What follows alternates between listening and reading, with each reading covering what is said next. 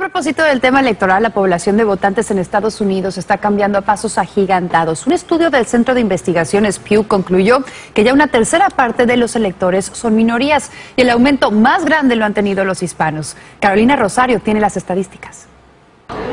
Ya el 43% de los nuevos votantes para estas elecciones presidenciales está compuesto por minorías, quiere decir afroamericanos, asiáticos y latinos. Y según el estudio de Pew, el grupo más creciente son los latinos, mientras que el grupo de anglosajones va en declive, pues según la investigación es un grupo que se está avejentando.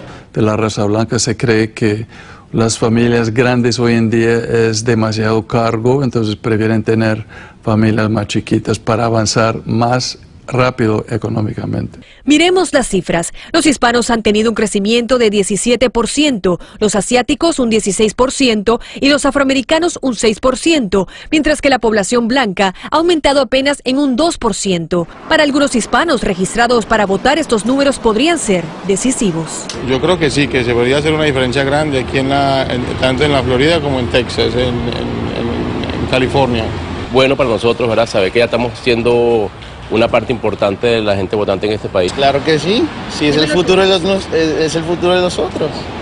Es súper importante. El estudio además arroja que este año casi la mitad de los hispanos elegibles para votar son jóvenes de entre 18 y 25 años, gran parte de ellos nacidos en Estados Unidos.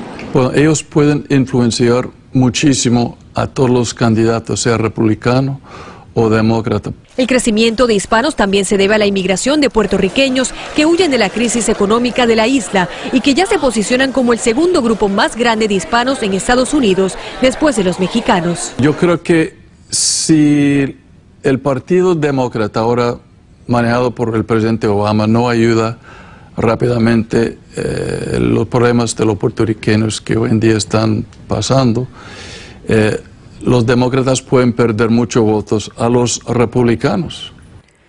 Pero a pesar de las cifras, el reporte tiene un preocupante dato y es que no todos los votantes potenciales van a las urnas. En las elecciones de 2012, solo el 48% de los hispanos elegibles depositaron su voto. Así que el efecto del voto latino va a depender realmente de cuántos salgan a ejercer su derecho. Félix, regreso contigo. Gracias, Carolina. Ese es el tema, participar.